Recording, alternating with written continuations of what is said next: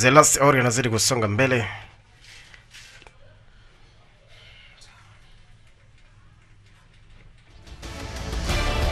Matukio mbalimbali ambayo tulishacha kuyapita. Yes. Lakini ndani ya nyumba za WPS, lakini kumbuka bado tuko mtu tatu kama kawa, bila kumsahau Mafia DJ sambamba kabisa na saa mbovu kama kawaida, wazee wa kulewa sifa Kamida Wanga, bado tuko macho.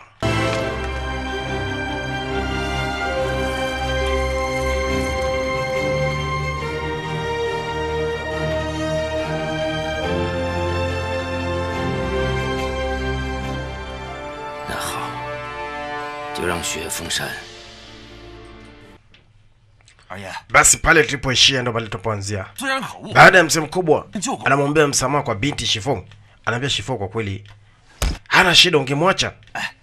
Piga teka Unataka kupanga amri yangu, si ndio? Kaa mbali na hili. Lakini binti alikuwa analalamika anasema kwamba huyu mtu alishisha kumsumbuaga sana. Yeah. Kwa hiyo anataka alipize kisasi kwa Shifong. Anasema hatamua ila kuna adhabu atampatia. Kafika kwa Shifong akamwangalia kweli kwa hasira. Wazee wakubwa wanataka kupambisha, lakini huyu bwana yuko upande wa Shifang. Beti kachana hiyo shati kwanza. Mzee mkubwa akacho kifua wazi. Ataka kumfanya nini? Fanye. Ye bushani. Asema alama ya kwanza kuzuia kazi zangu ambazo nilikuwa nikizifanya. Je. Ya pili. Huang na xiao yata gen yan zuo mimi nikawa na hasira muda wote. Je. Ya tatu. 前城大街上； kunikosea heshima. 这第三刀，是你这次 Nadhani hizi tatu zinatosha. Kwa kipindi kingine ukija kunizuia katika kufanya kazi zangu, takuja nichukue roho yako. Shifong alimwangalia sana huyu binti, jibu la kumpa alikuwa hana, lakini kumbuka babake alishacha kukataza hiki kitendo, binti asija akamzuru huyu mtu, maana kwa sababu kama vile anamfahamu mtoto, basi aliamuru wafunguliwe.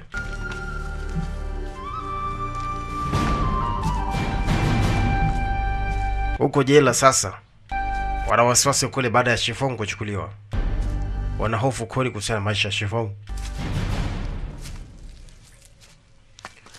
Mara ghafla huyu hapa analetwa. Shifong, Viti nakuja kumwangalia Shifong. Kwenye tumbo lake katikatoa visu. Amefanya nini Shifo?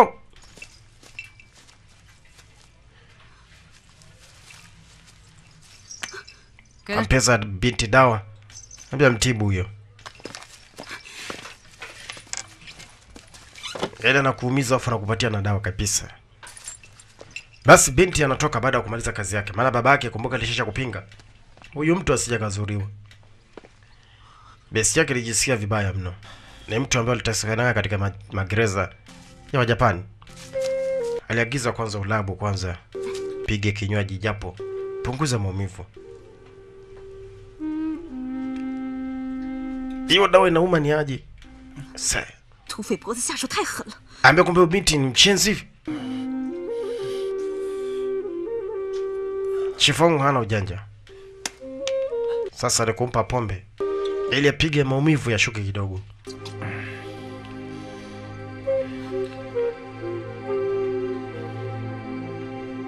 piga ulabu lakini wapi, maumivu bado yako pale pale. Lakini besi yake ambaye alikuwa naye katika magereza wa Japani, roho ilikuwa ikimuuma sana. Aliamuru wale wanajeshi ambao wamesimama pale getini waondoke. Alimwita Chefong.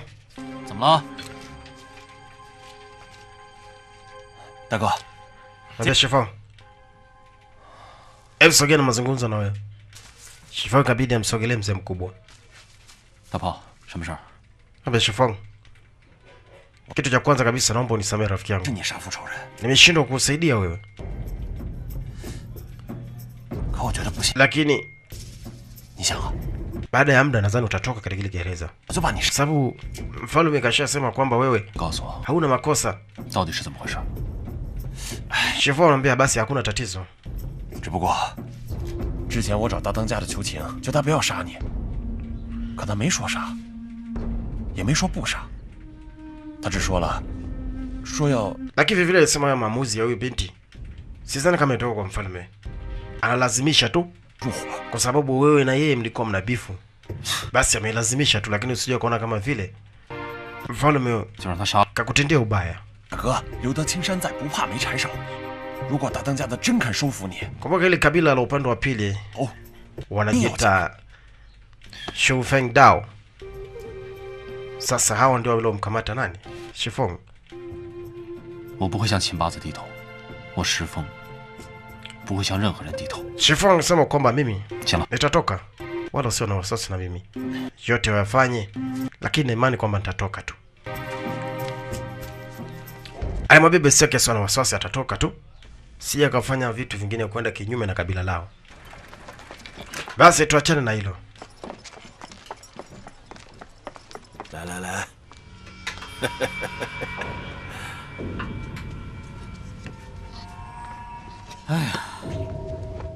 说实话，南云君，在中国，只有在你这儿，我才能找到家的感觉。 Kwanza, jambo la kwanza, 还要考 labda nimechoka sana. Hebu jipumzishe kwanza na hii. Si. Anakuja kuangalia ni pombe ya samani kubwa mno. Anaambia kuna kitu kimoja tu ambaye nataka nikizungumze mimi na wewe. Kwa sasa inatakiwa kwa sasa tuangalie jinsi ya kuingia katika kabila la Damiao. Haya mheshimiwa. Haya basi kaa.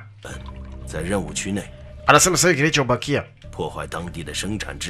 ni kuingia katika kabila la Damiao kutokana na rasilimali walionazo au kutokana na madini walionayo, basi itapendeza sana kama tutaunga urafiki na hao watu, alafu baadaye tuje tupate hivyo vitu kwa urahisi zaidi.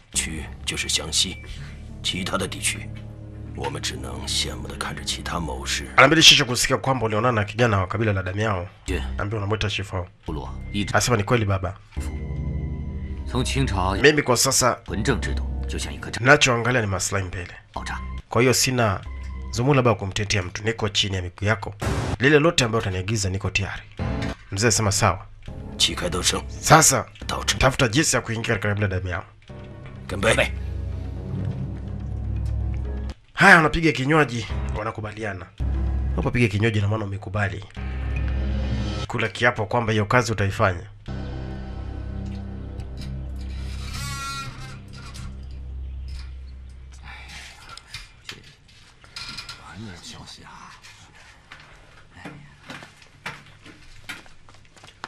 Basi tunakuja upande wa pili.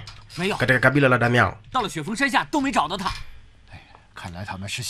Wazee wakubwa wamefuatilia mwanzo mwisho, binti hajaonekana. Vilevile mheshimiwa bado ameshikiliwa upande wa pili kwa Japani baada ya kusababisha maandamano makubwa mno. Sasa kwa sasa iko mikononi mwa serikali, itakiwa jibu mashtaka huko, jinsi wanavyojua wenyewe jinsi ya kuhukumu. Sasa upande wa pili, yule binti katekwa. Na kabila mahali alipokwenda, wale watu ni wakorofi, itakuwaje? Sasa wakati wanazidi kujadili jinsi ya kwenda kumwokoa binti upande wa pili, taarifa zingine zinakuja huku.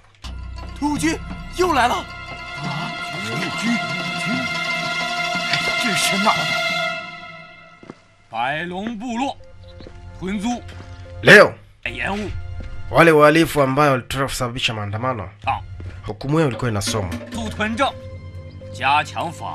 Hukumu yao ilikuwa ikisomwa hawa watu takiwa wapate adhabu. Kwa mujibu wa sheria, takiwa wapate adhabu. Hawa askari walikwenda kusoma hii laani katika hili kabila la damu yao. Hii ndiyo hukumu ambaye itafuatia kwa wale wasaliti wote wa nchi. Wanauliza maswali ya maana mtaka kusema kwamba mheshimiwa ambaye alikamatwa hii hukumu nitamfaye, kwa sababu yule sio mhalifu. Mtu ku, ku, kuandamana. Sio kwamba ni uhalifu, ni mtu kudai haki yake, kudai haki.